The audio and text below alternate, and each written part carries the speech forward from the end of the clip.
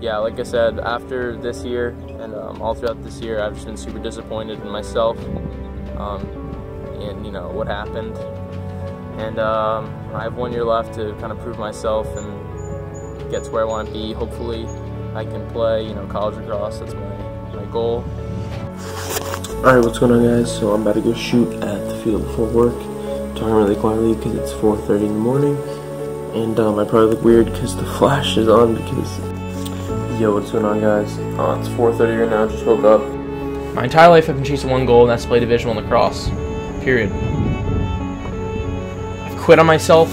I've quit on my dream. Life has knocked me down. It's held me down. It's thrown things in my direction. That I've doubted myself. I'm my hardest critic. I doubt myself every single time I lose 1v1, every single time I have a bad shot, even when I'm by myself in my backyard on a field. Every time I've, I, have i have lost the ball, caused a turnover, I was never the fastest. I was never the strongest, never had the best shot, never had the fastest hands. I wasn't born with, with talent ever. I was terrible in youth lacrosse. I was terrible. Never played on a varsity lacrosse team my entire life. I thought to myself, what Division One coach wants a player that's never played on a varsity team before?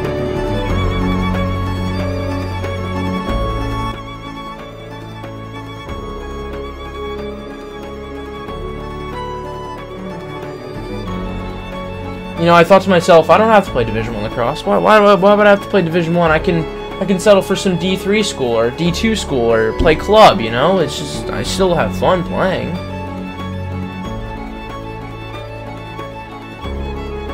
And then I remembered. I remembered thinking about going to a Division two school when this whole time I've had one dream in mind, and I and I just couldn't. I couldn't bring myself to just give it up and I had one season left, and it just sounded so crazy to me that I still thought I could play Division One lacrosse, and it sounded so crazy to my parents. It, would have sounded crazy to anybody if I told them I was still going to play Division One lacrosse after never being on a varsity team going into my senior year ever. I put in more effort than anybody on my team in high school lacrosse every single year, and I was still bad. I still never made a varsity team. I continued to put in work because I wanted it more than anybody on my team. And nobody on any team that I've ever played on wanted it more than me. Looking fucking beautiful. Know what I want, I'm gonna go get what I want, and I don't care how impossible it seems to anybody. I'm not gonna let the odds, the the negative voice in my head tell me that it's not possible. I'm not gonna give up on something that I've worked so hard for. For eight years, poured my heart, my soul, my blood, my sweat into it. I'm just to give up and live my life knowing that I gave up and didn't try the extra mile. I didn't put everything in.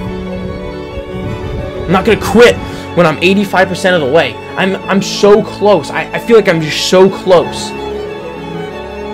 I just want to inspire people to know that it doesn't matter how hard things are.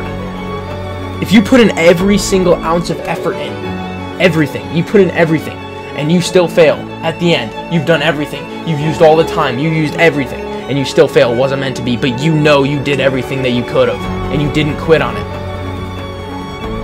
Because I'm never quitting on this. I don't care if I don't make the team next year. I'm I'm playing my heart out every single day before class. Not gonna be on a team. I don't, I don't care. I'm gonna try out the next year. I'm gonna try out the year after that and the year after that. I just want to prove everyone wrong that has ever said I couldn't do it. I want to prove myself wrong because I've doubted myself. I've, I've critiqued myself. I just I hate every every time I lose a situation. I a one v one dodge. It doesn't go my way. A shot that doesn't go my way. I doubt myself so much, and I want to prove myself wrong. I want to prove to the world. I want to prove to myself that I can do it. And there's nothing stopping me.